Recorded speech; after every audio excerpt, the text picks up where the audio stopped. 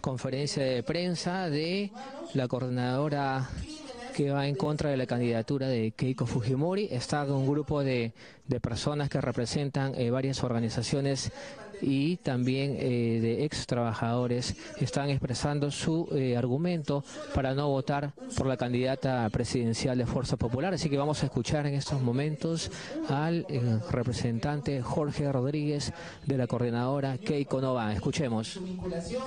Eh, posiblemente con el narcotráfico, pueda tener el control total del Estado.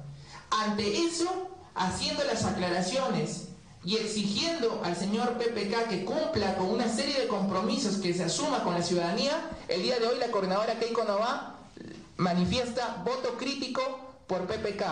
Y este voto crítico refiere a que nosotros tenemos una plataforma de siete puntos que significa un país con mayor democracia, con paz, con derechos laborales que se respeten, que se respeten las libertades civiles, los derechos civiles, la reparación a las víctimas de la dictadura, que se combata el crimen organizado y la inseguridad, no solamente con políticas represivas, sino también preventivas, que no haya criminalización de la protesta, porque queremos tener un país con mayor democracia, que se respete la libertad de pensamiento y de organización esos puntos fundamentales como el respeto a las comunidades indígenas y al medio ambiente para tener un desarrollo distinto, le exigimos al señor PPK.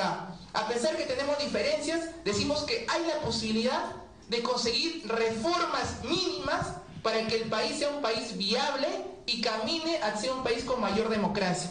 Nos reafirmamos y hacemos la campaña a nivel nacional. Esta es una directiva, una consigna a nivel nacional que la coordinadora Keiko Nova, por todos los considerandos que he manifestado, por la plataforma que levantamos, manifestamos el día de hoy voto crítico por PPK. Gracias.